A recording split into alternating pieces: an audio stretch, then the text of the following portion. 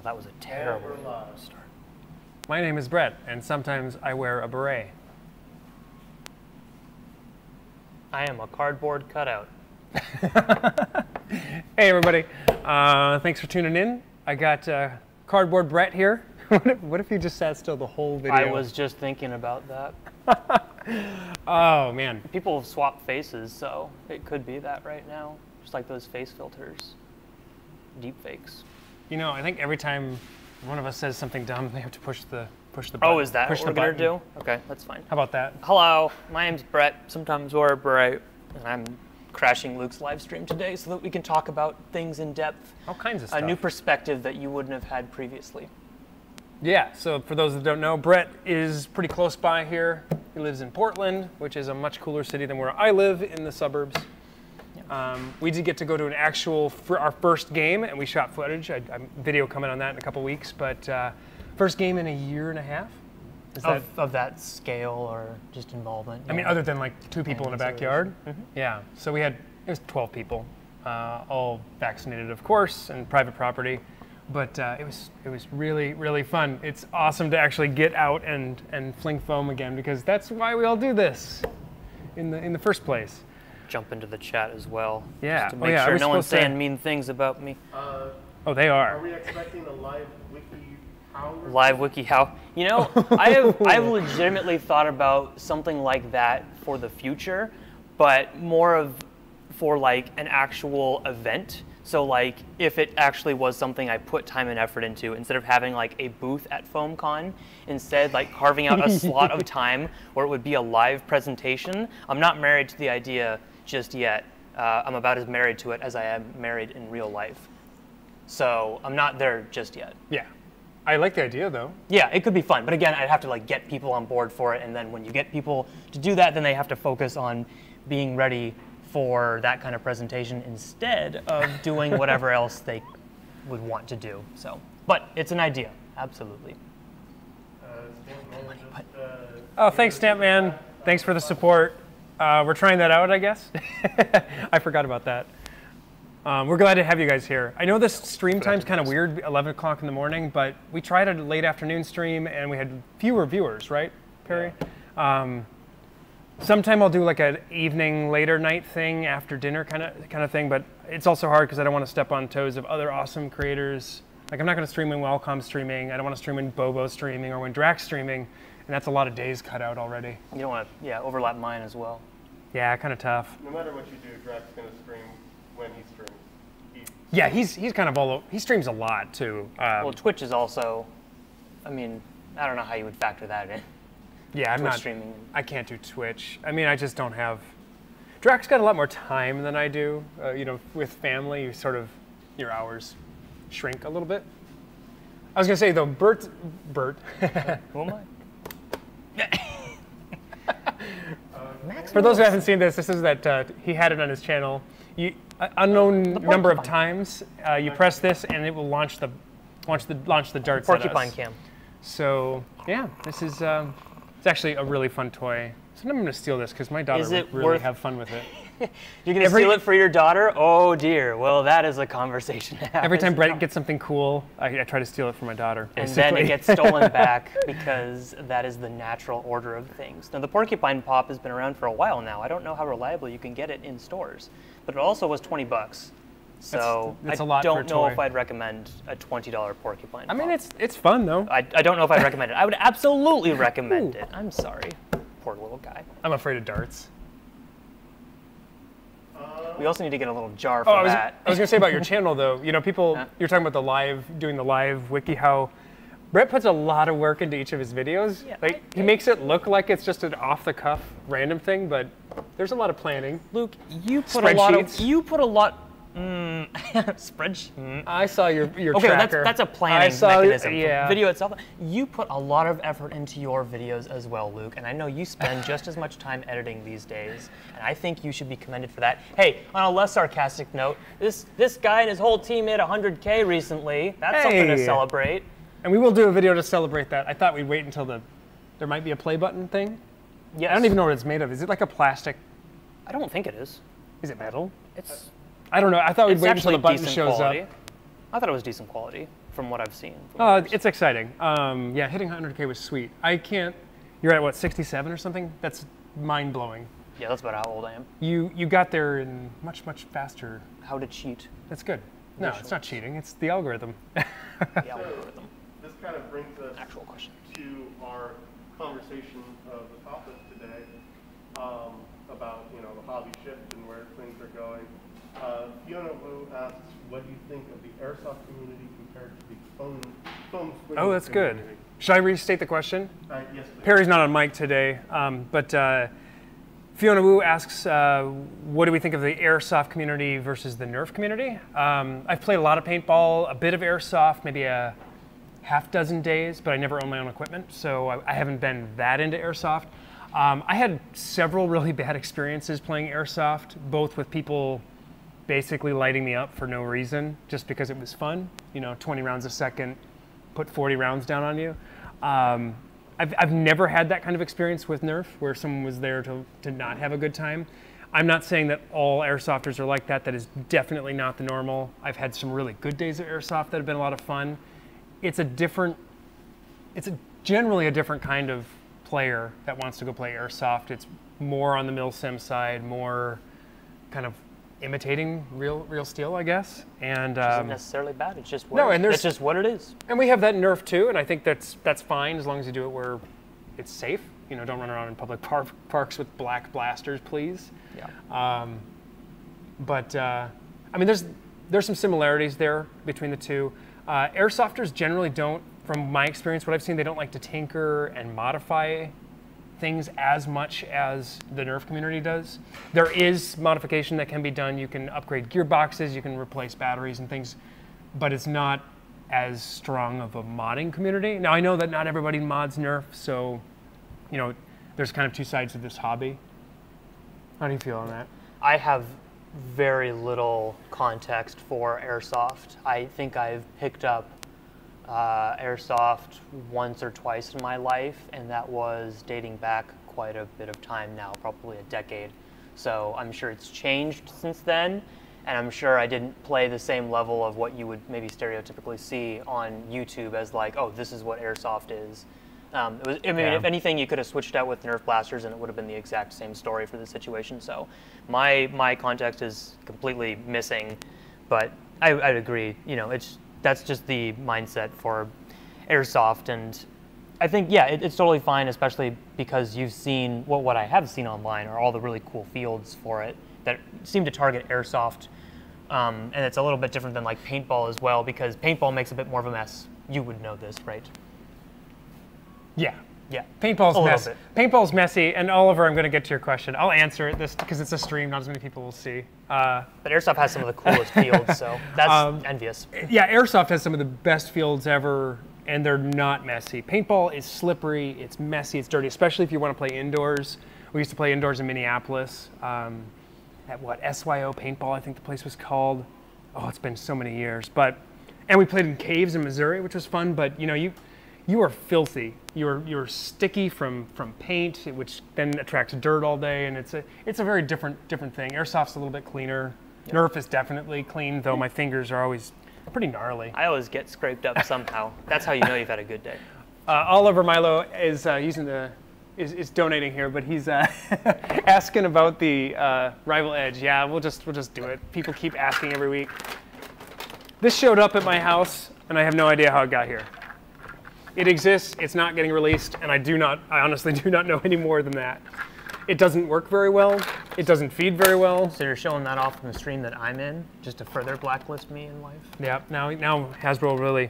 Um, a customer sent me this, or I'm not even saying a customer actually. I guess it's they haven't bought anything from me because I don't have any account on them. But it got sent to me by somebody that has our return address, which is you know, I don't know. There's 20,000 customers or so that have shopped with us. Um, it unfortunately didn't get released. I don't know why. I wish Hasbro would. It would be really cool, uh, but they have not. So maybe they'll change their mind. But it seems like they might be kind of done with Rival. Hey Luke, how does it feed? Doesn't feed well. Oh, weird. Yeah, it, it, it really, I mean, it works okay with this blaster, but it doesn't work with Would've anything else. thought. And it um, does not feed fast enough to do like a full auto dump out of a Jupiter. You'll get gaps and, Yeah. and things like that. So Yeah. Oops. I don't really want to mess with Hasbro, so we haven't uh, shown that off or done a review. It obviously would have got a lot of views because I don't think it exists anywhere. Um, but uh, pictures, pictures on the internet. yeah, I wonder. I wonder if that was like one of the last nails in the coffin for them on like magazines for balls, because I- you know they came out with uh, Hyper that Yep. had no magazines, um, and you know as far as we're aware, and I don't. nothing planned for the future. And do you think we're going to get magazines with Hyper? I don't know. How would a magazine work best with the sticky I- Hyper rounds? I don't think. I don't think we will. Uh, I mean, I sort of tried to. Uh, I mean, I just tried to put it in a proton pack to a tube to food, air feed, and they are sticky as can be. Do not want to go down tubes because they bind up. Like each ball binds up next to the one be- before it. There's just the coefficient of friction is too high. Same Uh, thing when you try and like swallow a bunch of them at once. Uh, it gunks up. You absolutely die. Don't do that. What is it? What does the per, what does the loser get when this goes off? No, I told you the actual game is you have different colored darts, and so it's not necessarily you lose when it goes off. It's just you might be the most caught off guard because other people can be ready to go in and grab the different colored Oh, we're, darts. since we're they have colle- different, it's like they have different um, point values. Hungry, hungry hippos. We want we want to get those darts. Yeah. Now we don't have to do that. I'm just saying that's the initial like intention of the game. Ah, We've got Boomstick and Phone Night in the chat. nice. Hey guys. Uh, Hey, Timmy's in here too. uh,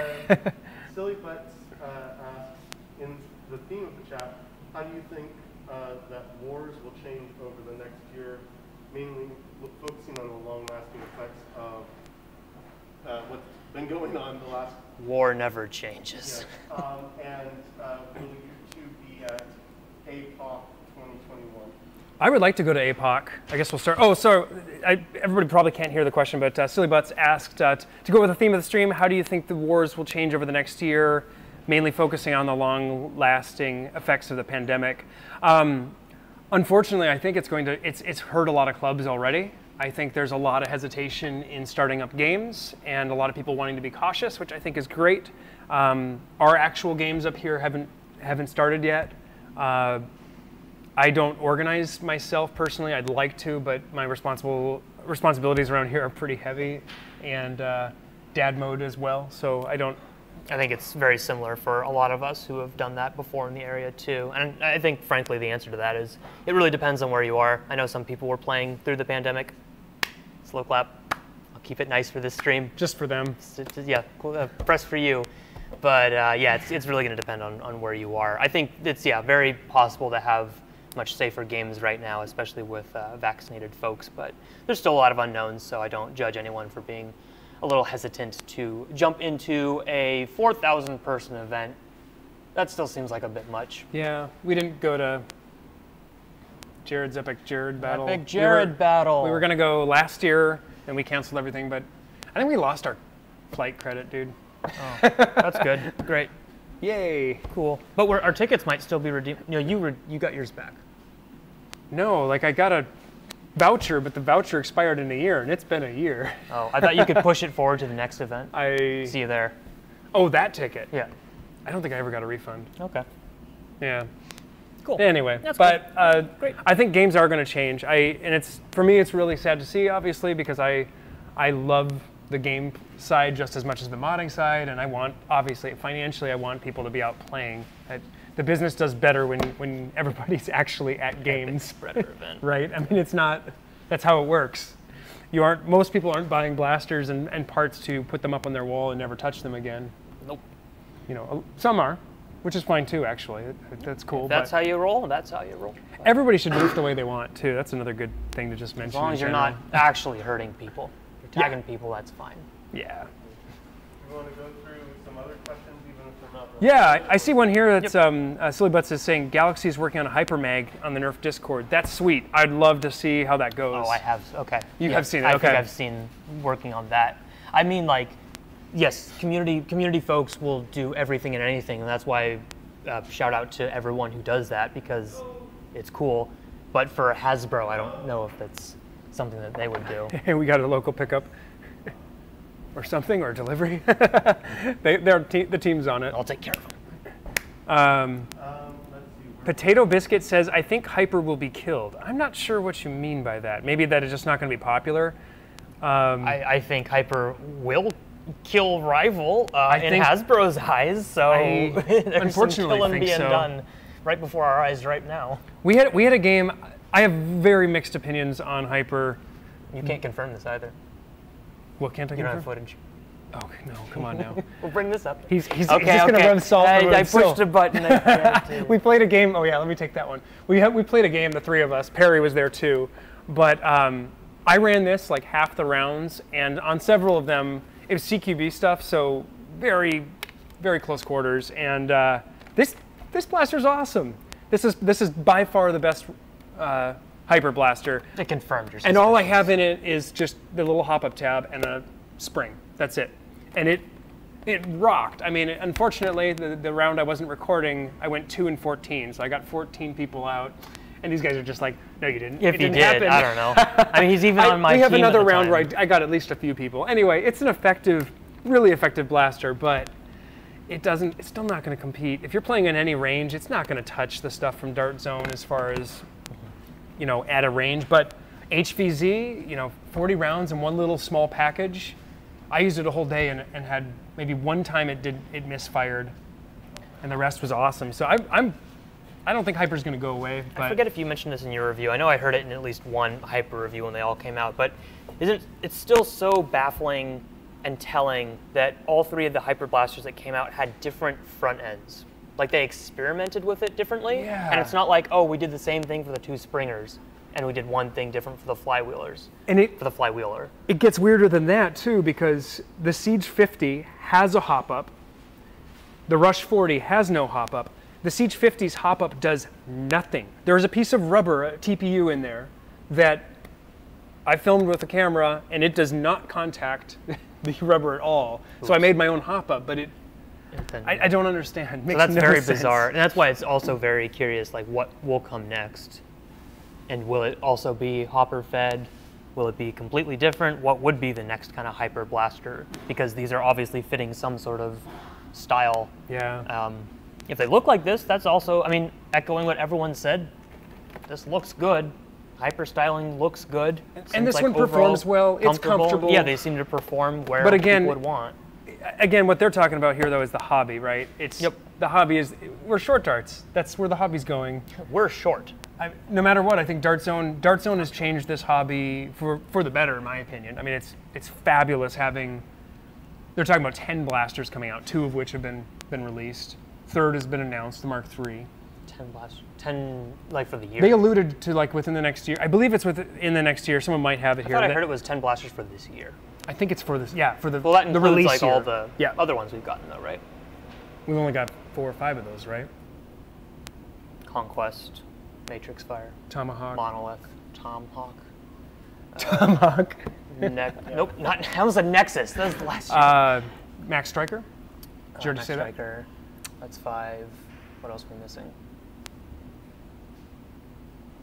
Are we missing one? Um, Probably. Just Dart Zone? yeah. Dart Zone We're just like trying to figure out the Dart Zone. Conquest, Conquest is the other one. Did you get Conquest? Um, so we're five at ten. We might dumb. have five more coming. I mean, that's pretty Mark, spectacular. obviously, the Mark III is one for Yeah. this year.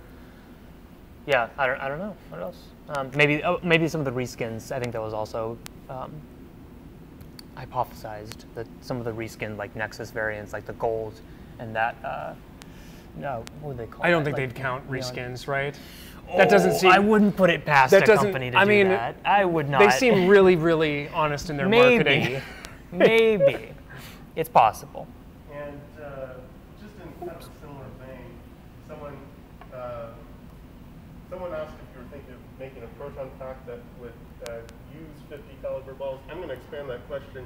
Do you think there's going to be a place in a hobby for 50 caliber foam balls, like the Yeah. ones? So do I think do I think there's a place uh, for foam balls instead of the rubbery stuff? I don't think they'd perform well enough if they if we went like if you took this ammo and just made it you know like rival or a little denser than rival, it wouldn't fly as far. It needs the extra weight and density to to perform well. They can shotgun spread, which is Yeah. fun. But for performance.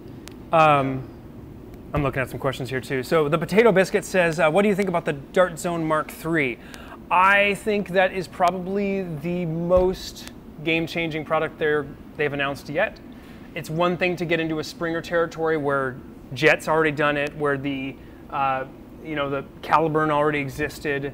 Uh, you know, similar products that they just made massively better. I think Flywheeler is another beast altogether, especially when you've got to deal with some sort of either lithium or nickel metal hydride battery. I, I, it's a big step, and I think it's going to change a lot for the hobby when you can go buy. I'm gonna I'm gonna put my uh, guess at $200 for the blaster. The Mark 1.1 Mark 1 was 180, right? You and I both Original bought that. listing, yeah, was 150 plus 30. I think we're going to see this be 200. I don't see a way. It's a pretty good sized blaster. I'm stoked. I, I think it's going to be a, a really, really solid product. I would be surprised if it's not stellar out of the box. Um, as long as Dart Zone sends me one for free, I'm happy to give it positive marks. I will get one no matter what. I bought every Dart Zone blaster that's come out this year. I'm, I'm willing to, you know, kind of put my morals aside, any little nitpicks aside for free stuff. Uh, no, no thanks. No? You know, can't relate? No. Weird. Weird. Very odd. yeah. Oh, um, Michael Jordan left a, a pie. 314, get it? Uh, could you describe Ragnarok and Endwar? Um, so, two different events, somewhat similar. Uh, Ragnarok October, I'll start with Endwar. Uh, Endwar is the largest HVZ game in the world, as far as I know. Um, the last one we went to was around 1,000 players. Uh, it takes place at rotating campuses, usually on the East Coast. We haven't done anywhere. It's been, yeah, primarily. We did based- Athens, Ohio. We did. Where else did we go? We were in Georgia. Georgia. Oh, yeah, that. It was hot. It was you hot. guys. It was really hot. Um, Very damp. but it's a standard, pretty standard HVZ game. But it takes place uh, over the course of two or three days. We have a convention on the first day on the Friday, and then two days of actual gameplay. Gameplay goes into the night, so there's night play, which is fantastic, and it's like a thousand people, um, and you know, uh, close around there anyway. And it Over was, the course of the weekend, I think. and uh, it's everybody. It's everybody in the hobby pretty much shows up. The international guests. It was, it, it was spectacular. It's the event I look forward to. Eh, you know, I I have looked forward to every year. and Now we've had to miss, you know, sadly miss two years. And, you know, we had a little trade show with, I don't know, 50 or so booths with all, all of your favorite vendors and YouTubers showing off stuff they've made, stuff they're selling, new designs. and your least favorite. Yeah, yeah and your least favorite ones too. I mean, we're all there. Oh, everyone. can't can't miss them. Um, but no, it's um, a really, really tremendous event, and it's also like this opportunity for the whole community to kind of come together and be together, and and in the real world instead of just the digital space. Yeah, I was talking to someone about this recently too. Just the the kind of things that change and the memories you make from these events. It's like, you know, any not to make it genericized, but it's like, you know, what a convention can do for any sort of community. And what, you know, like you go for one reason and you come back with memories for a different one. It's like, oh, you know, I was really excited to see these blasters, but instead you came back like, oh my gosh, I can't believe at two in the morning we were still working on this blaster for an event that was supposed to happen at eight, and you know, this happened and this happened, but it's like those are the kind of positive uh, nuggets that keep you around and keep you invested into going to more events like that in the future, or just like you know little local games, and you find more people who are nearby that you can then form your own clubs too if you haven't already. I, I mean, I'm halfway la- halfway between Because laughing and crying, it's- you know it's true. thinking about um, know. Thomas breathing fire at 11 11 p.m. at night. Yeah. Um, I mean, it's just fun. It's it's a amazing amazing part of part of the hobby, and I think uh, we can't miss another year. We've got to have it next year, and it. Um, for whatever reason, it, it got canceled this year as well. Obviously, international stuff. I mean, as you mentioned too, like we've had a, not like you know a massive international presence, but there has been an international presence, and with even national travel being kind of, uh, it, it's been moving. So I think it, I, I'm not going to say it was the right or wrong decision because I wasn't involved in any of it Yeah. to, to date, but I think uh, because of how weird it was, it maybe made sense still to. To not try and push it till like the end of the year, but just to And it is. I mean, to be fair, it's not a it's not a good event for during the pandemic, honestly, because the gameplay itself it's HVZ. You got people, you know, in the start it's it's 20 zombies running at you, and at the end it's 900 zombies r- uh, running at you, and uh, you know they have to touch Join you to, to to get you out, Yeah. and then we're all in these, you know. Hallways that are just packed with people and auditoriums and things, and so it's pretty close quarters. It And wouldn't the be event actually, you know, has to take place on a campus or whatever location that has to sign off on this and give Yeah. approvals. And for a lot of places, as I think we saw for Ragfest, which we can get into next, was you know they weren't willing to kind of give that window that we needed to plan. yeah. So you couldn't, if you couldn't reserve it like at least half a year in advance, then nothing was going to happen because you can't just like get it a month before the event and be like, oh, perfect, all right, now we can start, because that's not how it works. No, it, took it took several dozen people planning and working really hard to make these events. Uh, it should also be noted that like these events are not just there are missions, there are themes, there are, uh, they really. The last one was Harry Potter theme, which was quite fun. That was the last one, right? It's been Yeah. two years. This is terrible. Um, do you want to talk on Rag- Ragnarok? How that kind of compares and it is similar? Sure.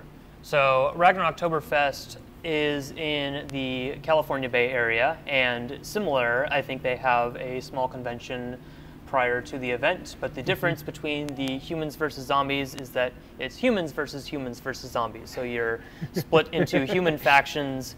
Uh, there are lives between human factions. So like if you tag another person on another team, they can go back and respawn. But all amidst that, there are zombies running around who can do their normal zombie things, which would be tag you, you join the horde. And they've also made some very impressive props uh, up to, well, from, from the start to the very, very end, climactic uh, final showdowns. So big stories, uh, different events taking place during the actual gameplay, like it changes from daytime to nighttime. And I think previously, at least both times I've been, it's just been kind of the one day. It's not Yeah. like spread over the uh, a couple days for the weekend. It's just the one day of HVZ or humans versus humans versus zombies, and you can do little side missions and gain points for your team, and then try to see how long you survive into the night. Which Yep. is, I mean, it's a Oh, very man. unique experience, and I like that. Uh, and then the next day has been the competitive side, which I don't know if you mentioned that for Endwar as well. Oh, the- yeah. The, Foam Pro Tour, just a, a different competitive for Ragnarok has been the King of the Hill, and then for Endwar was Foam Pro Tour, which obviously things can change, but slightly different So- rule sets. It's important that like both of these events are, are kind of like three things in one. So you've got your trade show, the HVZ, and the competitive, plus all the hanging out and mingling and just having fun. Let me see your mic for just a second. The, the pack. Uh-oh. guys can keep the Technic- hopefully, uh, we're always trying to improve our audio setup and stuff here. Make it- Not me. sure Anytime there's two of us, it's Hmm. always a, a little a little different. Check yours. Mine's right here. Yeah. Yeah, okay. There's Sweet. just apparently a clicking sound. Oh, okay.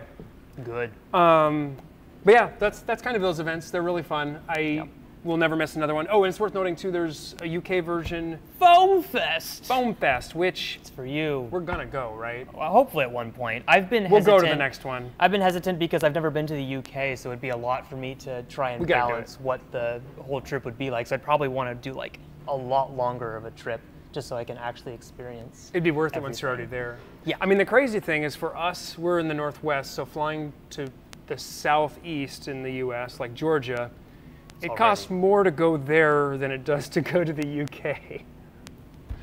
As far as tickets, anyway. So we'll, I think we got to do that. Best part of Endwar is FoamCon. And yeah, I, I think, um, I don't know what the future plans are for those events because obviously there's still a lot of uh, things that need to be figured out. But I, I think I would agree that if it could be arranged where like FoamCon could be a full day, I think that's a really attractive thing for people because it would also make it would, it would put a little less pressure on people trying to like get through FoamCon and, and also because some people during FoamCon are like, no, I need to focus on like the HVZ next. My loadout's not ready. Like I'm going to be doing this, so some people have to dip early so they can set up the HVZ stuff, and then you've got to like you know from a vendor standpoint, you got to pack up really quick so that you can play because you want to play. You don't want to just be sitting around doing nothing. That's why you're at the event. Yeah. So hopefully that that would be cool. I just know there's only so many hours in the day, and there's only so many days that we can fit into an extended weekend. It's Yeah. tricky, but definitely. Are we? Uh, how are we doing on audio? I know we got it. Uh, It's, it's slightly better, but there's still like a slight popping that people are hearing. I bet it's the mics. Uh, yeah. We'll test for next time. I'll order another mic, guys, to get these. We're trying to use two of the same mic. Do we know which one it is, or is it both? Uh, it, Uh, I have it set to mono right now, so I don't know. Oh, okay. Yeah, yeah. Hero Tour, that would be sweet. Um, Stampman, thank you, uh, says, what do you think about replicating uh, uh, real steel from video games to make, put them into 3D printed blasters in real life? I actually think that's really cool. Um, I mean, there's tons of stuff from, like, the last game I played seriously was like Gears of War, which I know is not current anymore, but there are a lot of, if I find the right blaster that I want to get going on, I'll probably do it. Oh, waffle. Got it. What are you finding? I mean, this is basically like video game Yeah, come to life. which is sweet. No. Oh, that's pretty close. I- Oh gosh. reload. Um, I'm out. no, I think that's a great idea, and I think there's a, darts. a lot of opportunity there. For me, I'm still developing my skills. Some of the some of the pieces that you would need to design for, like a really, the, the modelers that are designing a, a blaster for a video game, uh, some of which are friends of mine. I have friends that work at Sony and Activision and other places, but they they don't have to play by any rules. The the thing doesn't have to be comfortable. It just has to look cool. Hasbro already is fully adopted that. Yes. Oh, I, I'm, I'm. I got a whole wall Same of that over here. Busby. Get your grips figured out, Busby. Seriously, Busby. What are you doing? You're not watching this either. no. Have you, have you seen the, the pistol one for I haven't- Adventure Force, the revolver? The, I haven't Adventure gotten my Force hands revolver? on that yet, No, but I've heard no either. one's physically gotten their hands on it because you can't. It's too small of a grip. what are you doing, Busby? At least they're colorful. I think, but I, yeah, I mean, I think making stuff from video games is awesome. You also can, depending on what engine it's in, you can rip the files so you can get some reference point. It'll have no scale, but you'll actually have some, some sizing. But part of my problem is the software they're using for that is, is a different kind of modeling than I'm doing as far as mechanical. I'm doing more mechanical drafting where everything's dimensioned, um, and that's more surface modeling or T-spline modeling, and it's a different skill set than I currently have. So I would almost need to do a really good prop one. I would I would need a ton of extra time or someone to make the shell and I do the internals. Do you play video games though? Not as much as I used Yeah. to. I once played a lot, but um, easily. yeah, definitely underqualified at, at the moment. Um, I mean, I used to play a copious amount of video games, but uh, something something happened a couple years ago and that changed. Was it when the Fire Nation attacked? Weird. I would say to add on to that, eh, obviously, I think we've already touched on it too, but when you're bringing like video game uh, firearms into real life, that's also the weird, you know, thing we're treading on here by making videos about them. It's like, be aware that if they look like an actual firearm in the game and you're trying to bring that to real life, oh, it might look like a real thing. And that's what we always try to distance ourselves from with showing off to the whole world. So if you're going to make it look like a firearm, then just be aware of that. Keep it safe, handle it like you would anything like airsoft, paintball. Yeah, and you Timmy know, just Timmy just made a, comment about that too. It's like the issue is the silhouette, and with people being basically Yeah. being idiots and, and bringing them, you know, painting them black and running around in pub- public parks. Because if you're going to be safe about them, keep them in a case and you bring them to a, a private field where you've okayed that that's Yeah, totally fine. matter. That's great. But with our hobby and you know, you put it up on a wall like this, it's like, oh, it probably will jump out a little bit, but then for some people it blends in and there has to be a distinction somewhere. And it depends on where you are, obviously, but that's the, the hard Yeah. thing I think with uh, like you or me making videos about stuff like that. Just like, hey, look at this all black um, uh, uh, thing. I mean, even, even a lynx maybe, but you know, like the uh, gecko, all black gecko. Nice. Now that's a firearm. So I saw someone comment that there was a, uh, they wanted to paint the Spyro 1 all black, and it was just like, why? Spyro 1 all black, maybe not. Um, Joshua Robles here says, uh, as a professional mechanical designer, I've got tons to say about those who model for uh, video games and those who make products. Long story short, mechanical drafting slash CAD is way more involved. 100% right. I mean, the uh, you just don't have to follow any rules of any anything in design when you're making a prop that exists in a virtual space held by a non-existent virtual hand. It's just a completely different thing, and that's why this stuff looks so cool, but it doesn't always translate over to what we do. And then even if it does, it's a lot more work to do it properly, dimensioned and manufacturable is the other thing. that's why Hasbro struggled so much to get the Roblox blasters. to Oh, shots fired. and for oh, Has- I don't know why I'm protecting Hasbro. Why? this well, this is the Hasbro Porcupine Pop, so he's protecting the great Hasbro. but Stampman says he can give me a shell of a blaster. I might be interested in that at some point. Oh no, what do we got going Is on that here? flying overhead or driving by? Have um, Iceblades65 says, have either of you tried the concept pistol from Devilz Nerf Works? I'm not actually aware of this. I'm gonna look it up. Um, yeah, yeah, yeah. I love Milan though. I haven't I haven't seen it in person before. Fun story. Last Endwar, the only last one we got to go to. This man won. Were you with the Maverick? We'll put one in air He was the last. because There's no winning. He was the last man standing. There were there were quite a few of us that were at the location, so I would consider myself one of the last few to get tagged out before the game ended. There were some people who still survived afterwards, but then they were considered dead after the event closed. So And then sure. So and Milan was he was the last one standing, but uh, Milan, who owns Devil's Z Nerf Works, is his company. He um, basically made me last way more rounds than I ever would have because he he literally just put a hand on my back. I got the proton pack, and he just guided me the whole time, and he rocked it. Because if it wasn't for him, I would have been out been- hours and hours. You'd have been out of darts. Uh, no, I would have been. A, I would have been. A, ah, ha, ha. Okay, so this this pistol does look really cool. I um, I'm gonna have to ask him about this. I wonder if he's making and selling things. I see the kits and I see all and kinds Milan of was on my foam pro tour team, and he played very well. yeah, he's a cool dude. I hope. I, Very I'm looking forward to smart hanging out with him again. Yeah, and so that's the kind of stuff we definitely miss too. I'll, Seeing um, people every now and I'll then. reach out to Milan about this though. I'm taking a screenshot, so I remember to go look at this again later. I think. Um, ooh, this looks very very cool. Um, we don't offer a short dart flywheeler, and he's in a different country, so maybe it would make sense to license or something. I'll have to, I'll have to chat with him because that does look really really cool. You're only really invested in hyper.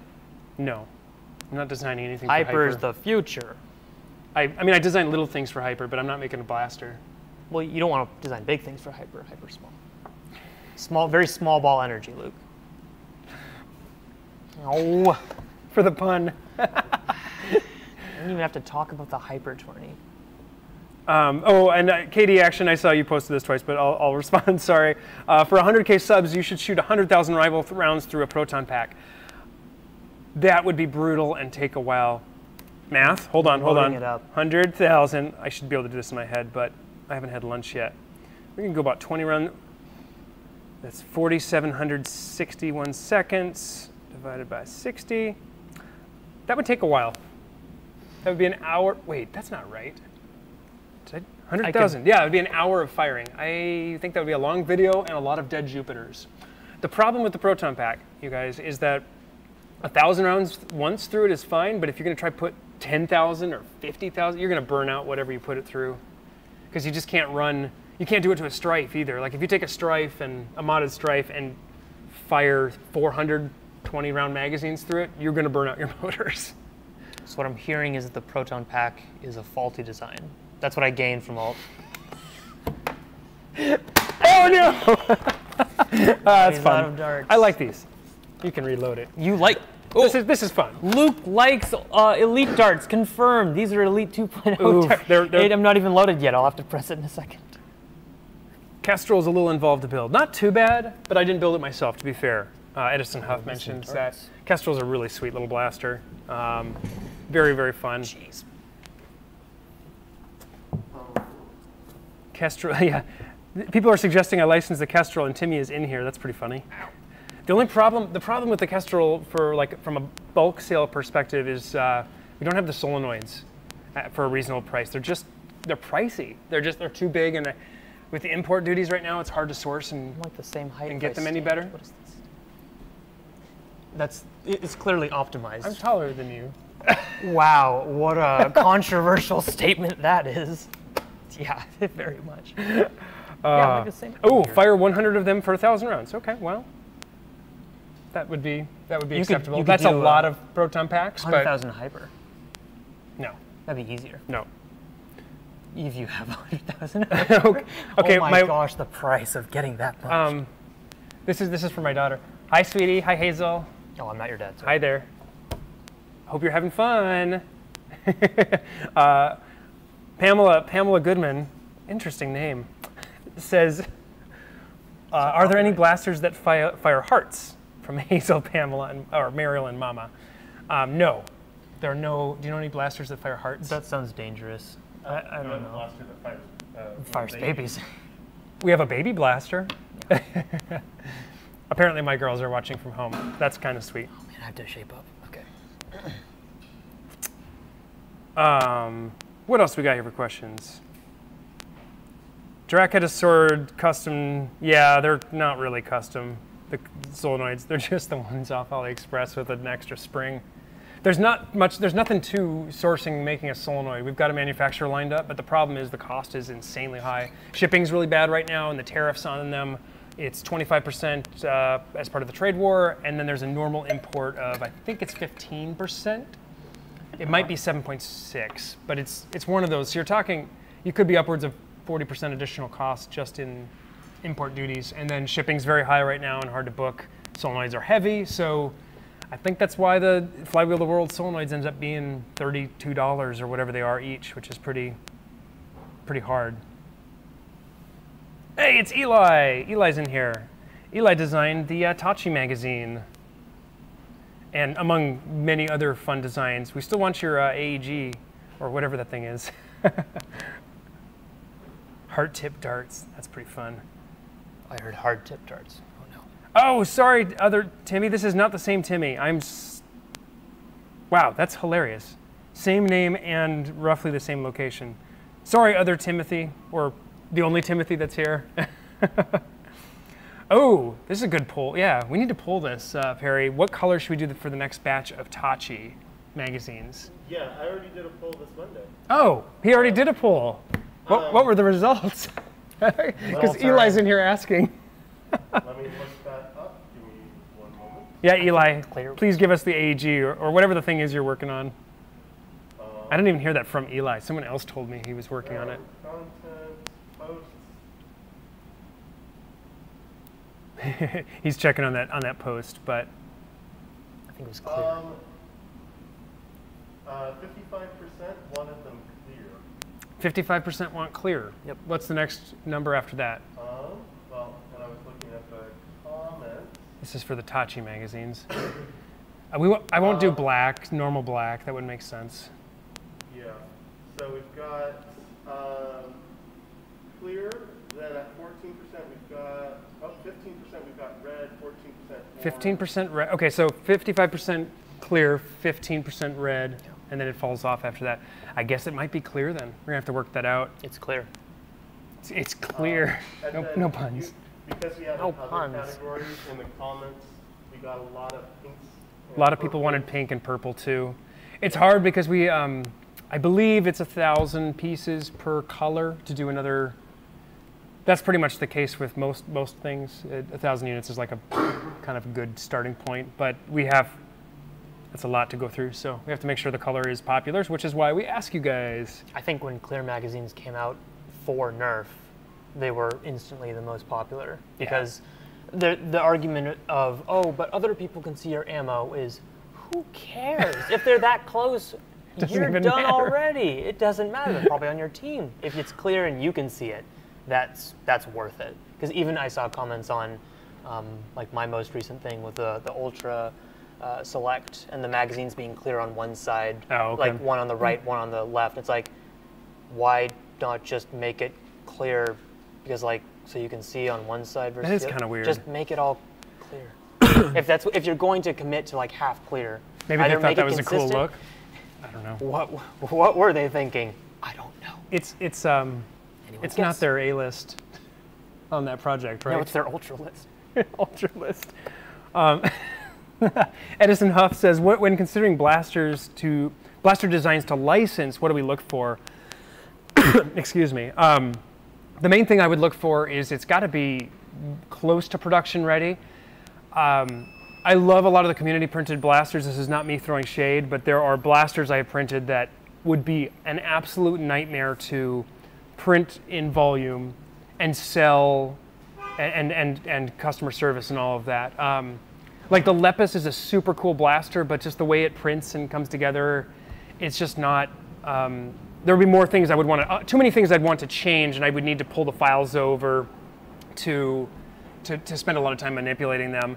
And then it's um, just design or printability because a lot of people are designing just however they feel like it to, to get a one-off done, but maybe it has tons of support or bad overhangs or parts print inconsistently because of how they're designed. So we kind of look for parts that are, you know, designed really well for printing. And a good example of this is like the Lynx is, uh, we're not selling the Lynx, I would love to, but can't, but it is, it is like a, it's perfectly designed. There's no support and it prints Perfectly designed. it prints beautifully. It's super durable, so it's a very good candidate to to license and design that sort of thing. And then assembly is a big part of that too, because no matter what we sell, even if we do the kits, a lot of people are going to ask for assembled, and it takes a lot of time. So, like the Lynx, my first Lynx I built in 25 minutes with zero instructions, didn't watch the video, got it right, and that is pretty much the best you can expect. Oh, he's oh, I made fun of him. I wasn't trying to make fun These of him. are, I mean, I feel like it's a personal insult just because, wow. He's a professional Lynx take- builder, though. No, I'm unprofessional Lynx builder. My table that's about to fall apart. Probably fix that. You also have a lot more experience just, you know, designing and assembling blasters of the 3D printed nature. So it makes sense. I do not. It's not what I do. I'm yeah. not optimized for that. Yeah, you did well. Survived. also, you know, when you're sitting there watching, like, whose line is it anyways, it takes more time. Haha, funny people doing funny stuff. Oops, what did I do? I spilled slug slime all over my hands. Don't do that. I can't. Um, I used to do the like work and watch stuff all through college and post college, but I no longer can have like I cannot have a second thing in the background. Maybe it's just the type of work I'm generally doing. I if someone's talking, I can't. I cannot focus well enough on what I'm doing unless it's. For Lynx, it's probably not as big of a deal. You could probably multitask. Yeah, I guess I could probably do that. But Most of the time, I'm, for some stuff, I'm yeah. like emailing or when I'm designing, I kind of want. I don't want part of my brain in thinking, and I don't know. It's just hard. Well, next thing you know, yeah, you've, you've screwed your finger into the blaster. and You're wondering, why is this not working? Also, why is my hand magnetic? Oh, uh, Zach Leak, I never saw the first one. Thanks for repeating it, actually. Uh, when is any idea when Coop is going to do the 430 dart challenge? Uh, I'm not sure. He had the blaster, the, the, the Jupiter and everything as of last, and the proton pack as of last week. So I think it's going to be fun because it should annihilate even his. Did he do seven, It was a 9x chaos. nine chaos? So it should beat the single Jupiter proton pack should beat the 9x chaos, and it should be the number one place. I hope. So we'll see. And then if someone else beats it, I'm sending him a double-headed something. Well, Cerberus. you could attach several proton packs to the chaos. That should be fun, though. Here's an interesting question. Do you want to talk on this, Brett? Because you and I both played competitive. Uh, Searing Phoenix says, so the FPS ceiling has slowly crept over up over the last five years. We've both witnessed that, obviously. Um, do you think it's going to go any higher than 150 for out of the box slash HVZ and 200, 200, 250 for competitive? So those two ceilings are those going to continue to go up, or That well, I mean, just that HVZ, you know, like out of the box slash HVZ. HVZ is so weird because, and we were talking about this earlier, just for like close quarters gameplay, and the beauty of that is that you don't have to have a blaster that hits super super hard. You can bring Yeah. like a Maverick kind of performance to that. You could bring, Dominated, You right? could bring hyper to that too, even though it's like not 150. But if you're if you're only trying to match those high ceiling numbers, then like for a one a 150 FPS game, where the Nexus Pro out of the box is now like right around that, but there has also been discussion like is that too powerful in some cases? Would you want to downgrade it to reach? So I don't know. It's really gonna depend on the clubs whether they do like actual caps or like soft caps with an average. Um, I think it's perfectly reasonable as it is. If you want to have something that's like a 200 FPS cap or a 250, that's fine, but people have to be aware that that's what it is. And also, I'm fully like happy to wear like extra kind of face protection up to that point. Like I know a lot of people still wear the kind of like standard eyewear or just regular like protective glasses up to 250. Um, but there's definitely an argument to be made that after 200 FPS, you know, if you're playing with people who aren't aware of that, they should be wearing something a bit more. Yeah. Just because we are shooting something that's got more mass than an airsoft BB. Um, not more than a paintball round, of course. Yes, those are yeah. going faster. um, over over 300, I think. Like hot take, of course, for location. If you're playing with the right people for that, sure, that's great. But you're probably playing the wrong hobby at this point. And yes, that's my personal hot take. And but like, I mean, to kind of elaborate on, I, I kind of agree because part of for me what's really fun about Nerf, and I like all the different kinds of Nerf, but I like getting a little closer to people. So if we get blasters, you know, if you start shooting 300 like paintball FPS, which again, the kinetic energy is way way lower because the projectile is only a gram instead of I, paintballs have got to weigh half an ounce or something. Um, you know, 14 times as much maybe or more. I'm I'm just guessing, but. Um, like part of the fun for me is you're close enough to see the laughter on their face when you tag them or the the oh man you know like and we played CQB last week or two weeks ago with 150 cap and that's really fun when you come around a corner and you have those close quarter things where you, you tag each other and you laugh about it and I like that part of it um, for competitive it kind of makes sense to have the higher FPS, I guess, um, at least in the current field layouts that people have been doing. Because really, what we've been doing so far with competitive is mostly imitating paintball. yeah, No matter how you look at it, it's like a symmetrical square or rectangle field, two teams capture the flag or, or something similar. Maybe that's why King of the Hill seems more attractive to me because it's less paintball. And that's why I like King of the Hill too. Yeah. It's Also, like you're- you keep, not- keep cycling in and out. when you out. have only one life, man, do people get toxic about that. I Yeah. said it. Yeah, it's very true. it's, Yeah. I mean, but it matters, right? Because then It does. every little tag, Because if you- it was seen or not, if you really can get in an infinite number of times, you just sprint back to the spawn, hit your your spawn timer, and you get to keep playing. And there's I- room for error in that you know you it's but it's also a strategy you know getting Yeah. out is a Yeah. strategy and that means that you know there's a little bit more uh, f- like kind of flexibility in how your teams can play Yeah, and I, I like die. that, that aspect. Um, I'm not sure how the FPS would change. That could all probably stay the same with the FPS, but Mm-hmm. at some point, as a spectator sport, the FPS makes things worse. Um, you know, at 300 FPS for paintball, as a spectator, you can barely see the paintballs flying. You more see where they're impacting and hitting bunkers because someone's shooting 15 or 20 rounds a second, and and so you'll see people getting hit, but you never see the projectile fly. At 150, you can still get to see the Nerf dart fly through the air, which is, I think, kind of fun. You might actually get to watch the exchange of you know darts going through the air and actually tagging someone. yeah And then the fields get bigger, and it gets harder and harder to see. So the larger the field, the larger the FPS cap, the farther you're going to be standing away from the action as a spectator, and the harder it is to film too. I filmed paintball ages and ages ago, but uh, it's a challenging sport to film already yeah and darts are even harder to, to police and, and see and and when you've still got the Nerf logo or like you know we we play with foam darts uh, attached as the kind of main advertising piece.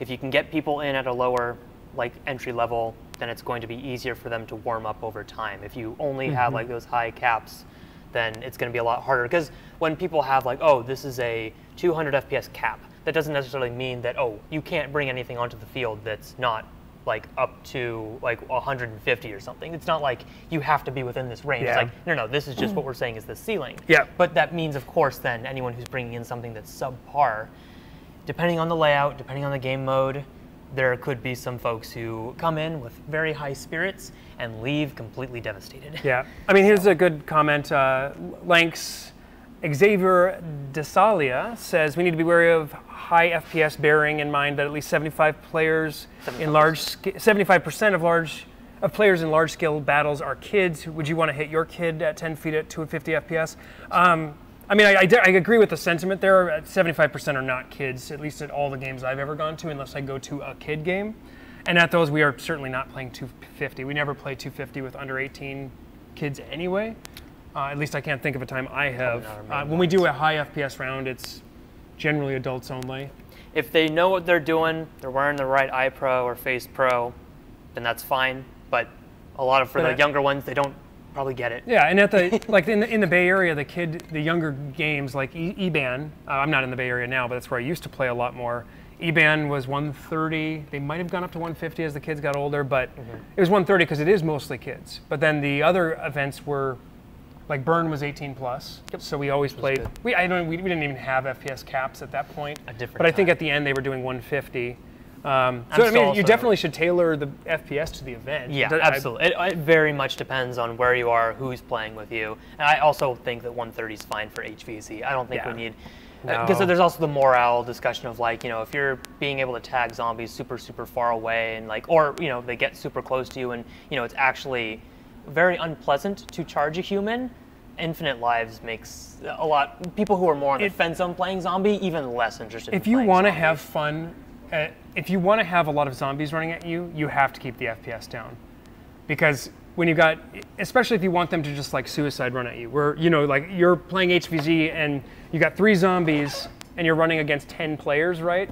And you, This is what we call. I'm the- quite good at that. This is the Luke run. Only pro Uh, gamers will the, um, understand this. but you know like if you want to, if you want people to, to work hard as a zombie and constantly rush and have you know actually make an effort, it's not you can't you can't raise the FPS too high or it's just it stops being fun at some point. And HVZ isn't about high FPS. You don't you don't need it.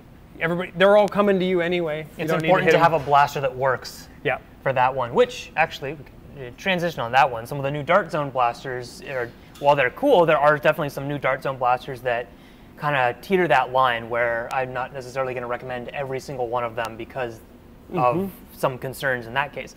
Regular games, probably. Yeah. like the Matrix Fire, um, I don't know how much you've tested the Monolith either.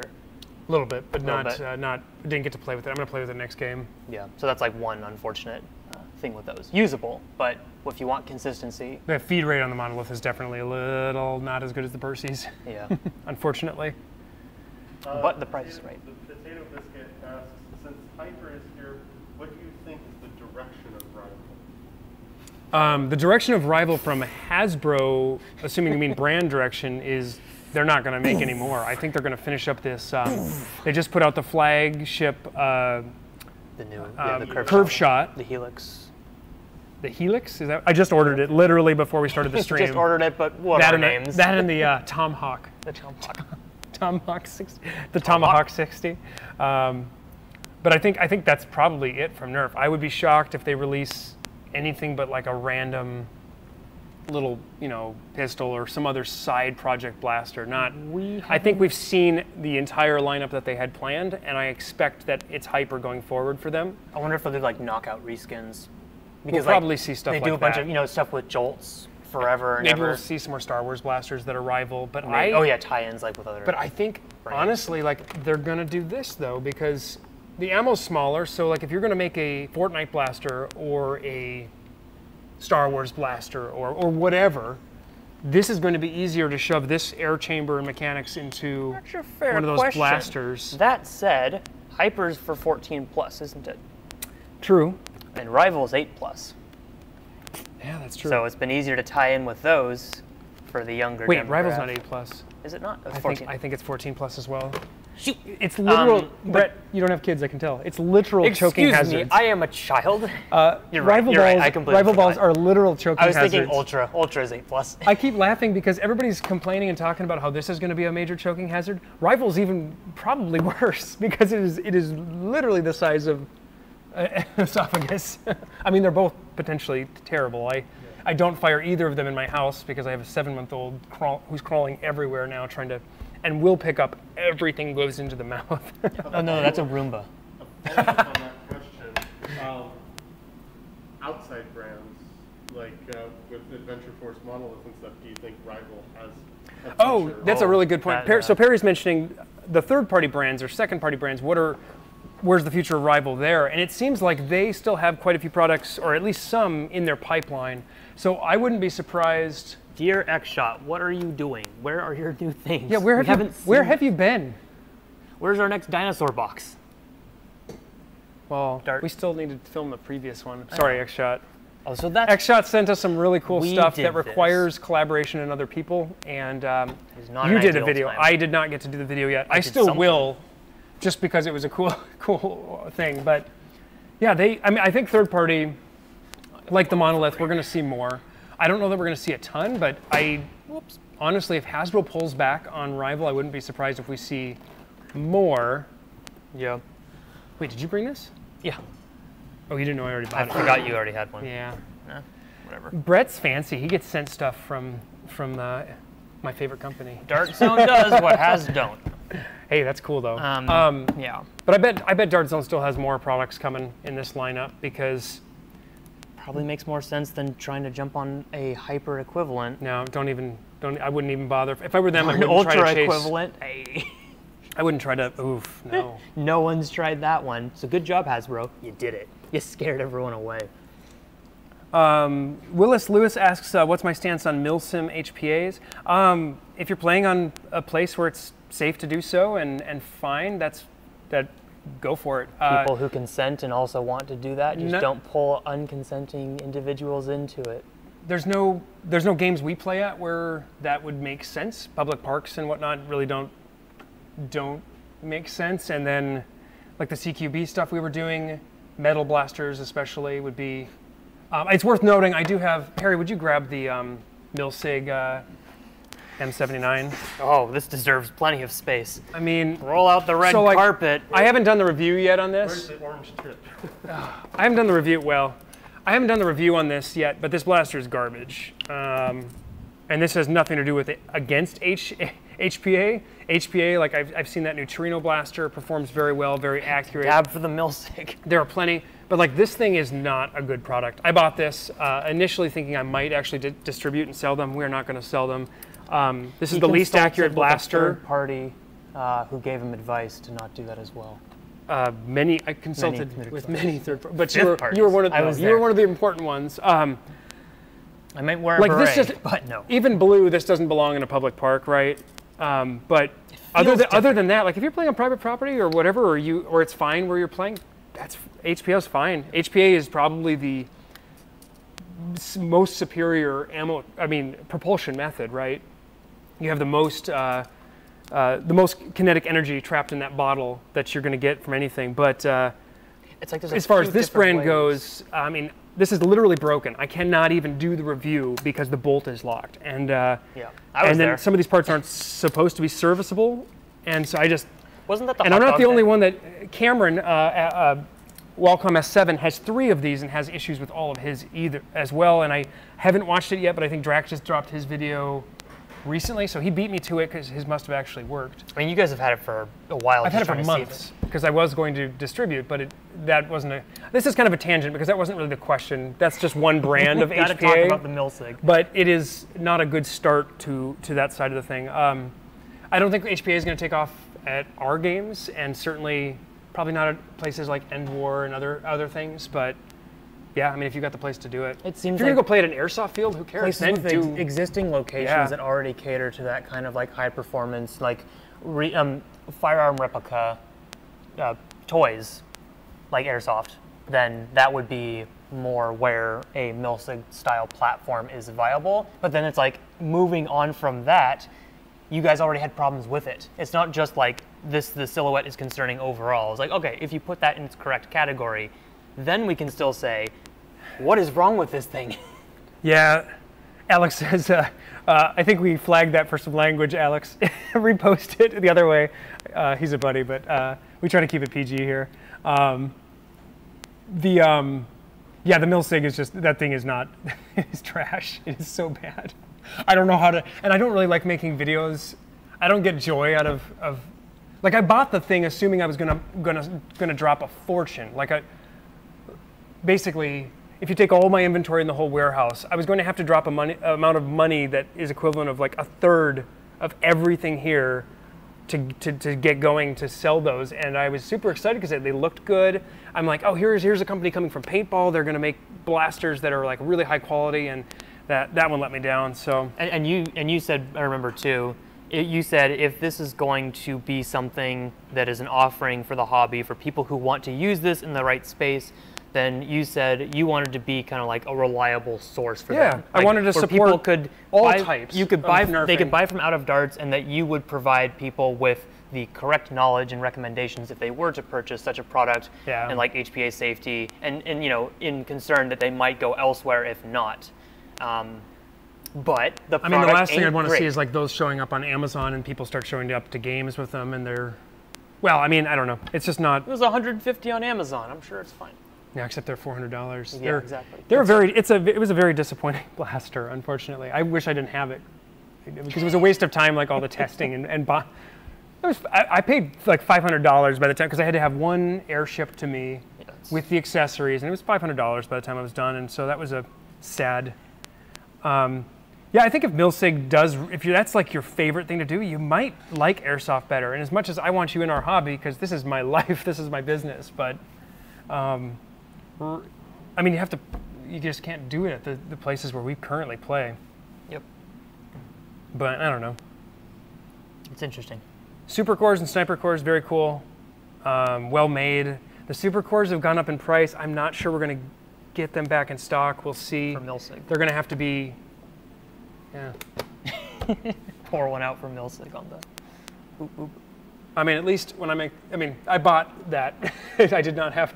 They did not send it to me. So, oh, shot thoughts on Shelby Destroyer. I am a little wary of the whole campaign, oh gosh! like start to finish, and some of the oddball things they've been doing. I've been triggered again. the pay the paywall thing. It sounds ah. like they better not do the paywall thing, right? Because they were I talking about features that you have still- to pay more to unlock in the blaster. A blaster doesn't need an app. No, There, nothing needs an app. no, no. It needs an app, but the app can be doesn't need to be. You don't. You have to have an app that is not necessary, and it has to be free. Or it's a remote operating like app. So blaster is on the other side of your warehouse, and the app turns it on. Cool. Sure. Or it Shelby- changes settings. Shelby does not need to be destroyed. Save Shelby. Yeah, I mean it's. Such a weird thing. I'm I'm excited to see where what they actually do when they release it. We'll see. Um, I did not order one because I had kind of a bad taste in my mouth after spending $500 on the Milsig. I do budget, even though this is my business, like to buy all these blasters and things. I could literally spend tens of thousands a year if I just went crazy. So I do actually restrain myself. Oh, and uh, yeah, I mean, speaking of things I bought this year that are disappointing, Perry's holding something in his hand. mentioned it in the, uh, in the live chat. Edison Puff says, any news from Orange Mod? So this is something I'm I'm getting a little mm, mil, miffed. Customer right here, paying customer, right? Yeah, I, I bought this. Um, no, no. $150 plus shipping. It was about 175, and uh, the handle snapped off. I have talked to them. They said they were going to fix it, and they had filament problems and supply problems. Nobody had fired this blaster prior to it being shipped to me. Like it literally had not been even test fired because I primed back and went broke the handle right off because it's thin, too thin an infill. The print quality was abysmal. Um, when I started in this hobby, Orange ModWorks was one of the very first things I bought for Orange ModWorks. Yeah, for Orange ModWorks. Oh, for Orange That's ModWorks. maybe not a good sign. And I, I've held off on doing a review of this. Obviously, I can't review it in its current state. It's a one out of five stars. It has, it's disappointing, you guys. Um, and for those that are, haven't been around, or you know, they were one of the earliest mod companies, which is super awesome. Yep. I bought my first spring kit ever from them. They came out with some, announced some really cool injection molded um, blasters that basically got canned and never made. Kind of got blamed on COVID. I don't know. Um, maybe we've had supply chain issues, so there's things, but Still, I mean, as someone who hasn't purchased it, but at least tries to keep involved with like what people say, you know, like for products, just seeing what companies are, you know, chatting about online too. Very quiet. I, nothing. And I, I emailed their customer service. So they, was it two? Radio It's um, yeah. 11 weeks ago, 12 weeks ago now is when I got the blaster. So it's been three months to print a 3D printed blaster and get me a replacement and nothing.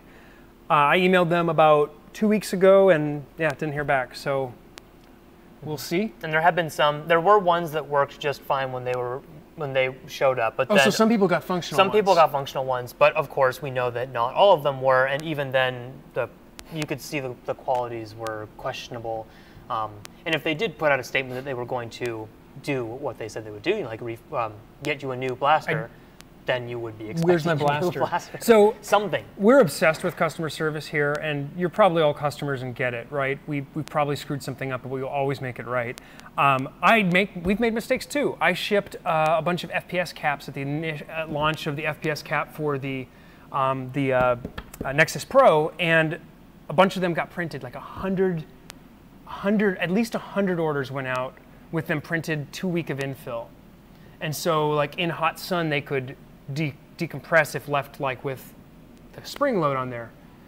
Before they even got to people, we were already. I shipped all the we shipped all the replacement ones to the same customers, gave them a discount code, and I wrote them personally, not an auto response, but like I wrote each person, sent 120, 130 emails, and we took care of it like that week.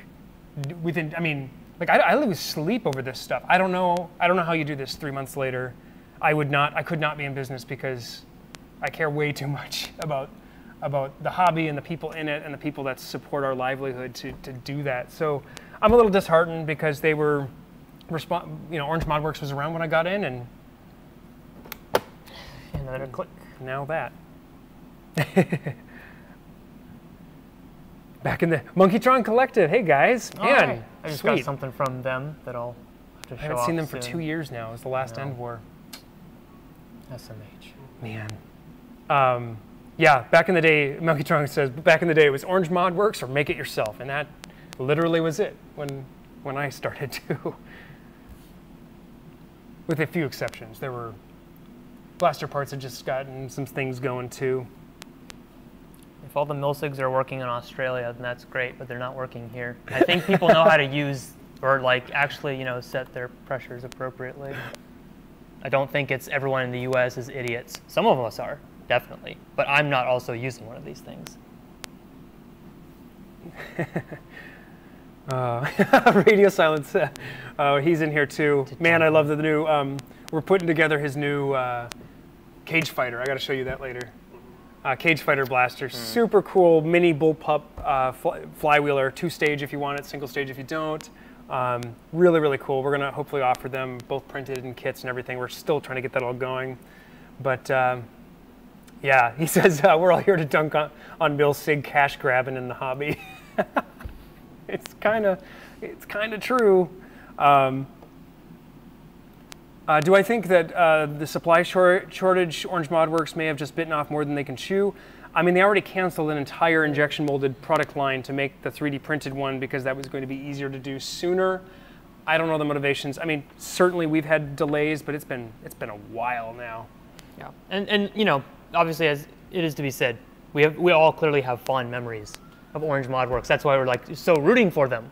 It's like you guys can do it. Like we've we've seen you from like the earliest space. It's like when you see Buzzbee in stores way back when with Nerf. You're like, oh, if they keep at this, who knows what they could do? And then you just see them kind of trip every step of the way, and you're like. No, we want you to do really well. I mean, Yeah, I- we're not here rooting for your downfall. We want a positive customer experience, and we want you guys to earn an income as a result of that as well. If you make good Uh, product, so- we will support. Uh, at Jolt King uh, says, I hate when I see people hate on Orange ModWorks. It was the gold standard for years. P- people literally forget. People forget. Literally, their, only their last two things have had issues. Both times it wasn't their fault. Uh, let's get this straight. First of all, it's their last two. It's their only two things they've announced in three years, four years. It's it's all they've done. It's been a while since. Is the the else. Cybertech core, Cybercore, Cyber, Cybertech? Oh my Oh gosh. gosh, what is that? Cyber Strike. No, Cyber. Strike. Yeah, there you go. No, uh, um, Cybercore, Cybertech, whatever. Cybertech is is got to be it. Cybertech line. But um, they announced that, got everybody hyped up, took money, and then had to refund everybody, like because of the pandemic. That could have been delayed and done. There's also initial. it's the only two things they've released. They had unique style, like different sh- uh, length of half darts as well. What's the last thing you can remember they released before that? Gulp. The cylinder, four or five years They ago. had, yeah, they had the, and they had those at Ragnarok too, which was at, at the time when they were first showing off the designs for those. It was like, oh, cool, yes, these are good products. We love those, and that's why people were happy to take them. They had some cool patches I took as well. Um, but yeah, recently, just It's not. I mean, that's why we're sad. We want and here's the thing. do well. I want them to do well. I backed the Cybertech blaster, which I didn't get. I backed. I bought this. Not. I didn't get sent any, sent any of this for free. I want them to succeed. I want this hobby to grow. It is in my absolute best interest. All of us. I mean, same as you. You know, any YouTuber too. It's like we want to see this hobby grow because it's better for everybody. Um, I don't want. The, I'm not trying to hate on them. I mean, that's the whole reason we haven't done a review video. You know, if that was if that was Hasbro, then they would have gotten my Ultra review. Uh, so we've definitely given them the benefit of the doubt for sure. Recon Retaliator hybrid kit. That's right, they did do those. I don't remember when that was though. I mean, when was the Retaliator? I That's knew. that's like six years ago now. That's it's a while. I mean, they, and they had a, a great Alpha Trooper kit That's six years ago. Remember the immortal Or more. Pits, Metal, yeah. Yeah. Hopefully. Um, they had I hope. issues with refunds, is what Nathan is Stern is saying. Yeah, they had issues with refunds because when you try to refund through a Visa or Mastercard or American Express, four, five, six months later or more, Oh, you, they didn't you do- can't oh. reverse the transaction. It doesn't. The, the service provider literally doesn't allow you to do it. So you have to track down those people manually and send them send them money. I can't even refund your purchase normally after 90 days. I have to PayPal you the money or give you credit or figure out work out some other way, but I can't go through the same purchase like it, you know, like a reversal. So yeah, it's a it's definitely a problem. Edison Huff, does OOD have brand colors? Um, not really. Um, we've got. I like I like to keep things black and white and gray. Kind of keep things neutral. Yeah. All, all black? Not all black. All black. No. Full Milsim. No. um, healthy competition does breed good business. That's for sure. Yep. Um, I think we're gonna take like one more question. I do like lots of blue though. Lots of blue. Yeah. Blue blasters. I, th- I think like um, with the the elite line, I think was a pretty good example of like, oh, that's a color scheme that I can get behind. Like the, Mm-hmm. the blues and maybe like some dark grays or, or like uh, black with silver accents on the handles and then orange popping. I've I've loved making blasters like that, and they've clearly continued on some sort of. Oh no. Uh, yeah, this. I regret everything instantly. no, but I mean They look all right. the color on this all on right. on Elite 2.0 is awesome. So we're talking colors we love. Color great, blasters not so good. Jeez. Okay, one more question, and then I think we've got to uh, wrap it up here. You got anything picked out, Perry? Uh, I've been trying to keep up on them. It's always a challenge. Uh, here's one, and it kind of falls to kind of the final question that kind of wraps up the whole theme of the stream. Uh, which 3D printed blaster types do you think uh, lend themselves better to like 3D printing flywheels or springers? Oh, I mean, I, so which which the question is which blasters do I think lend themselves better to 3D printing, flywheelers or springers? I mean, it's kind of a cop out to say both, but really they both have some pros and cons. Springers, again, like the Lynx, you can print them in a way that just makes sense. Uh, they, you know, you're using layer lines to make them much stronger, and it's they're very reliable. Flywheelers, also good because you can make any shape you want, and I mean, there's not. I think both can be really, can really use the advantages of 3D printing. Uh, there's a lot you can do with 3D printing you wouldn't be able to do with a mold, or you couldn't do cost effectively with a mold. I'm finding that now as I kind of play with designs that we might want to get molded someday, that uh, my design skills are really based around 3D printing, which is a problem. Because there's things you can do that you just wouldn't. That's you can't have thick, chunky walls in places just because. that's a problem that other people should have though when it comes to designing stuff, because that would make everything easier. Yeah, yeah. So I think that's an okay problem to have for your line of work. No, that's it's everybody. It's universal.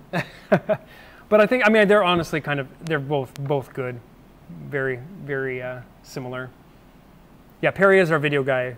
For those who didn't know, and he came to his first game ever just a couple weeks ago, which was pretty sweet. We had a good good time. And then kind of the one to wrap up the stream, and maybe we'll take uh, a few quick fire questions after that if we still have time. But in your guys' opinion, like where where is this hobby going after the last year or so of new Dart Zone releases and uh, unfortunately no games, but you know, how's how's the hobby going to I want you to answer that one first, question, just because. where where's the hobby going after kind of a mixture of lack of games, but a lot of like new releases, especially strong offerings from Dart Zone. I think we're going straight down the toilet. Hot take, of course, but I think we've really kind of hit our wall. It was a good run that we all had, but nothing quite like uh, back in the day shooting slugs out of uh, modified plus bows. So it's unfortunate. you, mi- but you miss the cutting the darts and the PVC. yeah, I, I miss all that. Like this is cool. Having a warehouse and stuff is great, but I'd give it like another month or two before you need to shut down. It's just gone. Just just done. no experience really I can bring to this, but you know, like good good try at least. Yeah, we had a good run. Uh, I think the hobby okay, the hobby is here to stay. The hobby is stronger than ever. we may not have had games, but there are more people getting introduced to this hobby every day than there ever have been, and the growth is exponential. Just getting Dart Zone products on shelves at Target and Walmart is game changing. I mean, it, the number of customers that have come to our store because of Dart Zone, it's it's staggering, and it's uh, because they find this blaster and they realize, oh my gosh, this shoots really hard. I want to find more like this, and they start going online, and then they find that there's a community, and they find that there are games and all of this. And I think, I think the path forward is very clear. It's going to be a lot of third-party competition for Hasbro, and I think it's really good for all of us. The more competition there is in that blaster space, from I guess previously companies like Jet, and hopefully Orange Modworks will come back and again, you know, do their flywheelers as well. That's for Jet. Yeah. Shout out to the real Mr. Jet. I would say also, like, while Dart Zone's um, getting people's attention with their uh, reasonably powered performance blasters for uh, sometimes an older, you know, the teenage and up uh, enthusiast, um, Nerf has also gotten more eyes on the hobby because of their other tie-ins, whether you like them or you hate them, because Yeah. I know there's a lot of, in some cases, justifiable hate. But like, you know, you got the Roblox tie-ins, the Fortnite tie-ins, Halo, all their Star Wars blasters. Man, they really dropped in Star Wars. Come on, guys. Hopefully, the Mandalorian blaster's good. Seriously, but, do better. But with all the extra eyes that come in as a result of those two, I think you did. I think I I think did. you like kind of It was so much for a money. bit, and like, then you were like, oh, fine.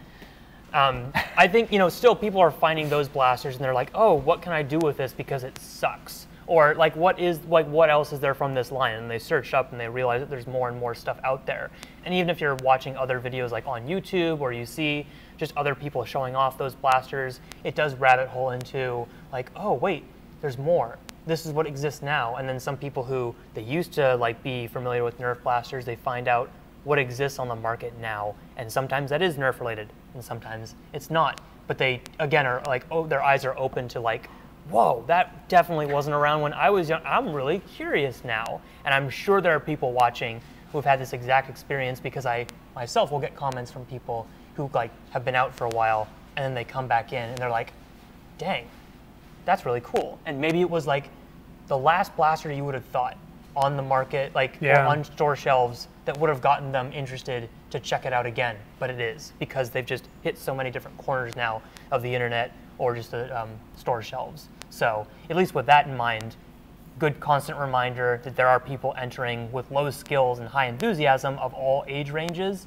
And for those people, they don't know what a caliburn is. Yep. So slowly educate them to what that And is be kind. over time. You gotta be kind. Be nice to these people. and, and, and for the younger ones too, they're the future of the hobby. They're the people who, with enough interest, will start designing their own blasters or will continue to go to games and encourage And- their friends to come. and who might well. start the next company that Yep. makes some cool blaster like and be the next Zone or- YouTube channel as well that will put Yeah. ours out of business.